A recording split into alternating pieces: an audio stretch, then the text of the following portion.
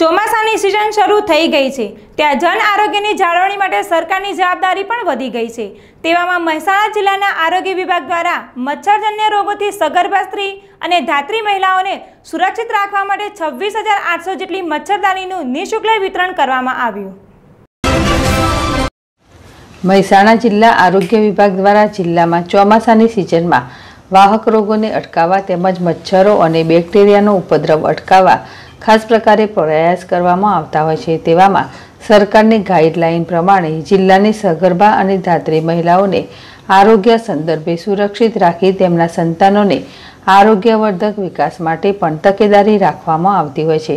ત્યારે તાજેતરમાં ચોમાસાની સિઝનને ધ્યાને રાખી આરોગ્ય વિભાગ દ્વારા જિલ્લામાં છવ્વીસ હજાર આઠસો મચ્છરદાનીનું વિતરણ કરવામાં આવ્યું છે.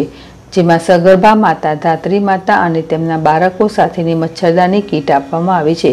તો જિલ્લાના સંભવિત મેલેરિયા અને ડેન્ગ્યુનો જોખમ ધરાવતા સ ગામોમાં સંપૂર્ણ ગામને સુરક્ષિત રાખવા તમામ લોકોને નિઃશુલ્ક મચ્છરદાની આપવામાં આવી છે.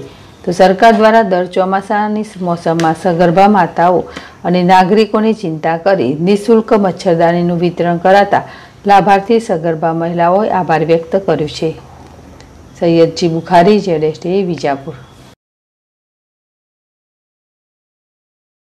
મારી સાથે વાત કરતા ને એ જ યાદ રાખવાનું તમારે કેમેરો ભૂલી જાઓ. ઓકે શું નામ બેન આપનું? મિસ્ત્રી કોમલબેન દીપક કુમાર.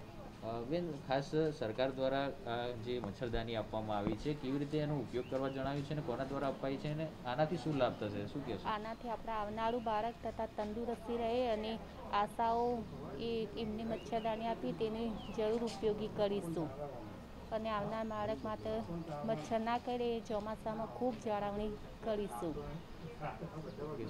સરકાર વિનામૂલ્યે આપી સરકાર વિનામૂલ્યે આલી એનું જરૂર ઉપયોગી કરીશું.